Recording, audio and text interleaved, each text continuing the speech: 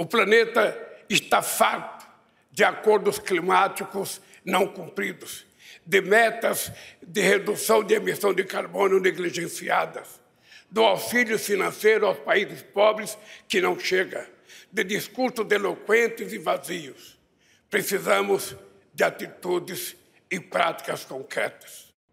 I pray with all my heart that COP28 will be another critical turning point towards genuine transformational action at a time when already, as scientists have been warning for so long, we are seeing alarming tipping points being reached.